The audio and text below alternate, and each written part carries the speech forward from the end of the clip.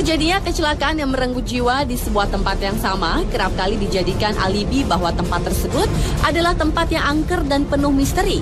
Seperti juga jalan-jalan berikut ini yang kerap kali merenggut nyawa orang-orang yang melintas di sana. Kisah pun terus bergulir dari mulut ke mulut secara turun-temurun, termasuk kisah tentang sosok-sosok misterius yang disebut-sebut sebagai penyebab mengapa kecelakaan tersebut terjadi. Tidak bermaksud membenarkan karena semua kembali pada kepercayaan dan keyakinan masing-masing. Berikut, On The Spot telah merangkumnya dalam tujuh jalan paling misterius di Indonesia.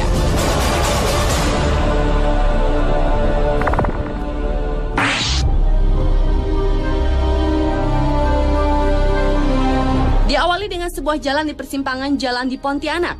Jalan ini dilalui sebuah jembatan yang dinamakan Jembatan Benteng. Menurut kepercayaan warga sekitar, tepat di jembatan tersebutlah merupakan titik kecelakaan. Dalam sehari bisa terjadi hingga 24 kali kecelakaan. Beberapa korban kecelakaan mengatakan mereka pernah melihat sosok manusia tanpa kepala berdiri di jembatan tersebut. Masih di kota Pontianak, ternyata selain jembatan benteng, di Pontianak juga terdapat jalan Siantan Hulu yang dianggap angker. Di sisi jalan ini terdapat sebuah pohon yang konon dihuni oleh makhluk gaib yang dianggap merupakan penyebab dari kecelakaan-kecelakaan yang terjadi di jalan ini.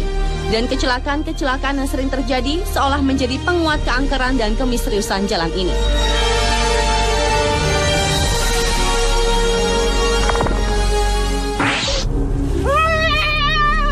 Lepaskan Jeung saha ieu? Aing Tinggal Aing para batik naon Hei, hei, hei, Anda dari tadi buka kerudung terus. Beralih ke Jalan Munjul di Garut, Jawa Barat yang dianggap sebagai jalan paling misterius selanjutnya. Banyaknya korban yang berjatuhan di wilayah ini membuat warga percaya ada kekuatan gaib yang menguasai Jalan Munjul. Sebuah keberadaan gardu listrik tua semakin membuat warga setempat dihantui perasaan mistis. Menurut warga sekitar, rata-rata dalam seminggu Jalan Munjul merenggut tiga nyawa secara beruntun. Dalam sebuah kesempatan, tim program Dua Dunia mencoba menelusuri jalan munjul tersebut dengan meminta seorang praktisi supranatural untuk merasakan energi-energi yang ada. Dan menurut Ustadz Aar Mubarok, di jalan ini terasa ada dua jalur secara batiniah. kunaon atuh loba anu carilaka di dieu aing musrik pegawaian gitu dan berjama muslim. kita kasebut musrik Kalau kamu kasebut musrik cek gitu cek kami.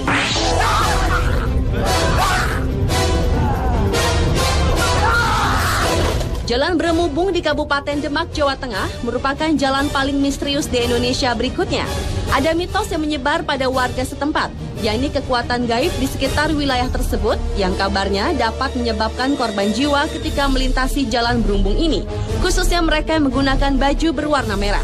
Penyelidikan pun dilakukan tim program Dua Dunia bersama seorang praktisi supranatural, Ustadz Cilik Guntur Bumi. Menurut Ustadz Cilik, di wilayah ini ada sosok jin yang menguasai jalan berumbung yang suka mencelakai orang-orang yang melintas di jalan berumbung. Jin tersebut merupakan titisan dari Nyi Roro Kidul untuk mencari korban manusia supaya menjadi pengikutnya. Namun terlepas dari mitos yang ada, Ustadz Guntur menekankan jika manusia tetap selayaknya hanya percaya kepada Yang Maha Kuasa.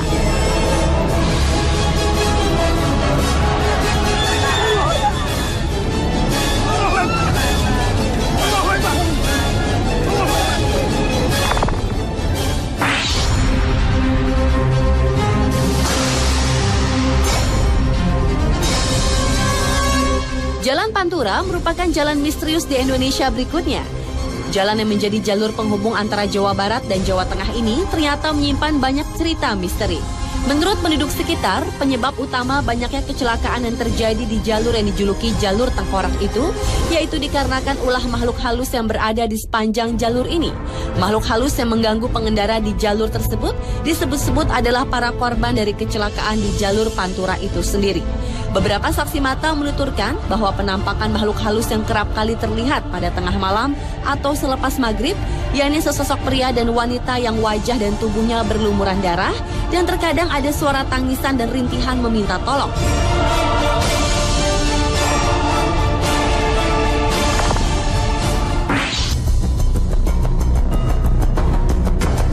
Jalan misterius di Indonesia selanjutnya adalah Jalan Cadas Pangeran di Sumedang, Jawa Barat. Keangkaran di kawasan Cadas Pangeran memang bukan rahasia lagi. Konon kabarnya sering terjadi pembunuhan sadis terhadap orang-orang yang melintas, baik itu pengendara mobil maupun motor. Korban-korban pembunuhan kebanyakan ditemukan remuk di dasar jurang yang terjal. Dan pelakunya tak lain adalah seorang gadis cantik bertubuh seksi yang kerap muncul saat suasana sepi dan baru turun hujan. Dalam melakukan aksinya, si gadis biasanya berusaha menghentikan kendaraan yang melintas. Dengan senyum manisnya, ia meminta tolong si pengendara untuk mengantarkan ke suatu tempat. Korban yang rata-rata adalah pria tanpa ampun langsung terpana pesona si gadis. Selama di perjalanan, biasanya si gadis bersikap malu-malu, namun dia juga tak menolak jika si calon korbannya mulai merayunya. Ketika suasana makin larut, si gadis biasanya minta diturunkan di suatu tempat. Dan di tempat inilah si seksi akan memulai aksinya, menghabisi si korban. Menurut kisah warga setempat, jasad korbannya kebanyakan dibuang ke dasar jurang. Jika beruntung, si korban tak akan dibunuh, melainkan hanya memeluk sebatang pohon seperti kehilangan akal sehat.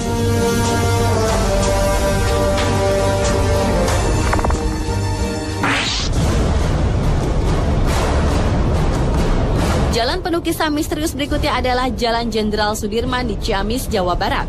Jalan ini merupakan jalur utama yang menghubungkan Jalan Jawa Barat dengan Jawa Tengah. Lalu lintas jalan itu tak pernah sepi, baik siang maupun malam.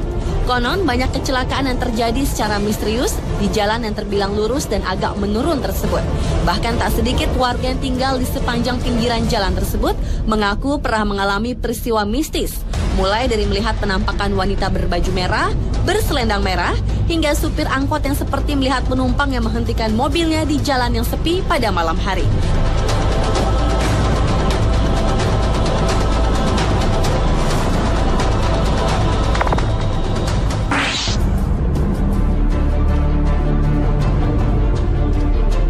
Dan jalan misterius di Indonesia yang terakhir adalah Jalan Tarahan di Lampung Selatan. Jalan menurun dengan jurang di pinggir jalan ini telah banyak memakan korban. Konon, penampakan misterius yang mengganggu pada malam hari kerap terlihat oleh para pengguna jalan. Dan sebuah makam di kampung yang terdapat di bawah jalanan disebut-sebut sebagai penyebab lain terjadinya kecelakaan yang terjadi di jalanan tersebut. Dan dalam sebuah kesempatan, tim dunia lain mengadakan interaksi secara batin di tempat ini untuk menyingkap misteri yang ada di jalan ini. Dan rupanya, sesosok hantu wanita yang dikenal dengan nama Nyai Geni yang bukan dari makam-makam di tempat tersebutlah yang dikenal sebagai pengganggu orang-orang yang lewat di jalan tersebut. Nyai Geni sering menggoda dan mengejutkan para pengguna jalan yang melalui jalan Tarahan. Dan ketika Nyai Geni berkeinginan untuk membunuh korbannya, ia pun akan mengeluarkan cahaya menyilaukan mata, sehingga orang yang berkendara itu akan membanting setir yang akan membuatnya terperosok ke jurang.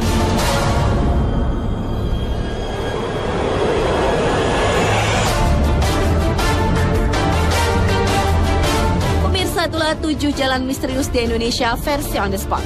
Meski banyak kisah seolah memperkuat kemisteriusan jalan-jalan tadi, namun semua kembali ke kepercayaan masing-masing individu.